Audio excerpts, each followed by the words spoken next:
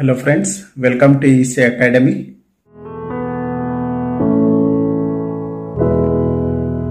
In this lecture, let us understand data representation. Data representation is also known as number representation. We'll understand different ways of representing a number. There are three basic ways how we can represent a number. First type is binary representation which is given by base 2. So, base 2 represents binary number representation or binary data representation consists of two numbers which is 0 and 1. So, binary number system consists of only two numbers which is 0 and 1 that is why it is having a base 2. Second type of number representation is decimal number representation or it is also known as denary representation which is having base 10 which means it is having 10 numbers 10 numbers which means from 0 to 9 after 9 we can represent this number as 1 0 which we call that as 10 1 1 which is known as 11 1 2 which is known as 12 1 3 which is known as 13 and so on. Third type of number representation is hexadecimal representation which is having base 16 or it is also known as base h. Sometimes we write that as base 16 or base h. If we say base 16 which means it is having 16 numbers. So 16 numbers which means it is having number from 0 to 15 so in this hexadecimal number system we will write numbers from 0 to 9. After 9, we will write the numbers in the form of alphabets from 10 to 15. So, 10 will be represented as A, 11 will be represented as B, 12 as C, 13 as D, 14 as E and 15 as F. So, hexadecimal number system is having 16 numbers from 0 to 15.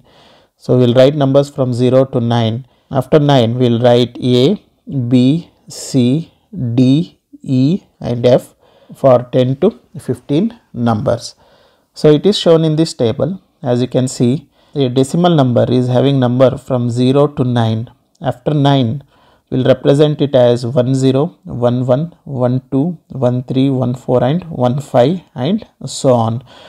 Hexadecimal number is having numbers from 0 to 15. So, from 0 to 9 we will write the number. After 9 we will write A, B, C, D, E and F.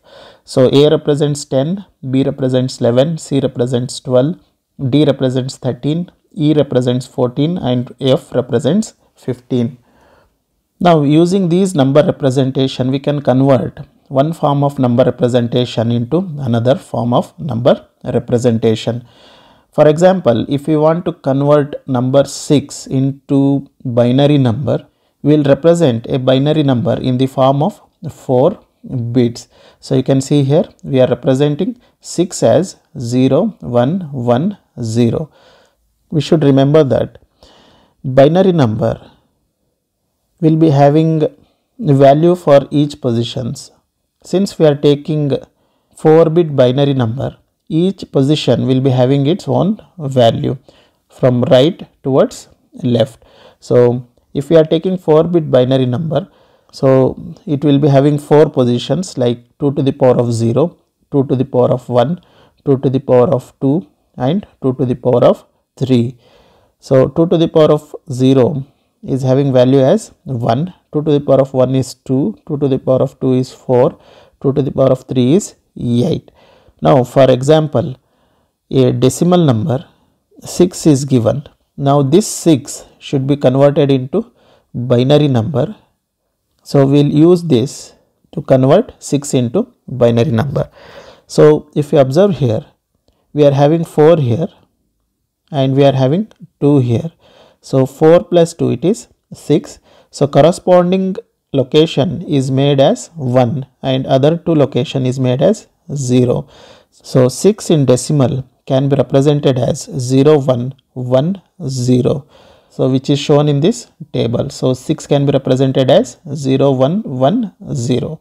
In the same way we can take an hexadecimal number. So let us say the number is A. This should be converted into binary number. So we'll use the same analysis to convert it into a binary number.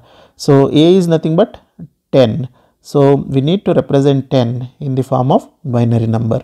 So if we see this location is having the value as 8 and this location is having the value as 2. So 8 plus 2 is 10. So that's why we will make these two position as 1. So remaining two position is made as 0. So 10 can be represented as 1 0 1 0 in binary. So as you can see here 10 can be represented as 1 0 1 0 in binary which is same as A in hexadecimal that can be represented as 1 0 1 0.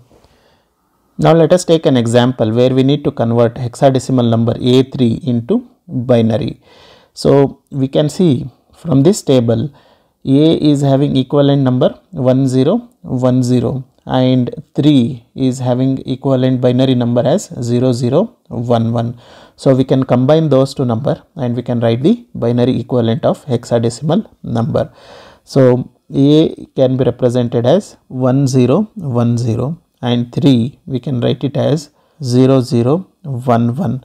So we can combine these two number A3 we can represent in the form of binary as 1010 and for 3 we can write it as 0011. So we have combined these two numbers and we have written A3 as 10100011 to base 2.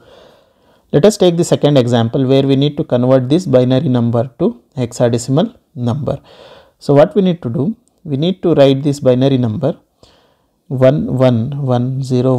11101000. So we need to group in the form of 4 bits. So from right towards left. So we'll take first 4 bits, we'll group that one and we'll take second 4 bits and we'll group that number. So we got the first group which is having the number 1000. So if you look at this table 1000 the equivalent hexadecimal number is 8. So we can write the equivalent number as E8 and the second group is having the number 1110. So if you observe this table where we are having 1110 equivalent hexadecimal number is E. So we can write that equivalent hexadecimal number as E. So we got 11101000 this binary number is equivalent to E8 which is the hexadecimal number. So this is how we can do the conversion. Here you need to remember if we take 4 binary digits, so binary digit is also known as bits. So generally we call this as bits, so which is a short form of binary digit. If we take 4 binary digit, we call that as nibble. So if we take 4 binary digits, we call that as nibble. So for example, if we take 1011 so we are taking 4 binary digit. So this is known as nibble.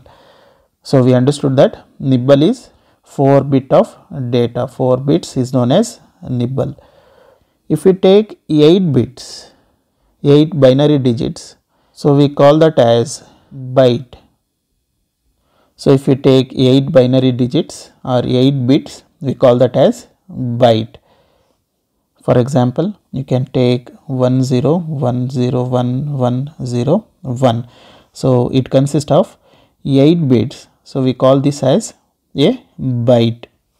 If you take 16 bits, we call that as word. If you take 16 bit binary number, we call that number as word. Similar to this, if we take 32 bit binary numbers, so we call that as double word. So we can say that 4 bit binary number is known as nibble, 8 bit binary number is known as byte, 16 bit is known as word and 32 bit binary number is known as double word. So this is about data representation. Hope you have understood the topic. Thank you.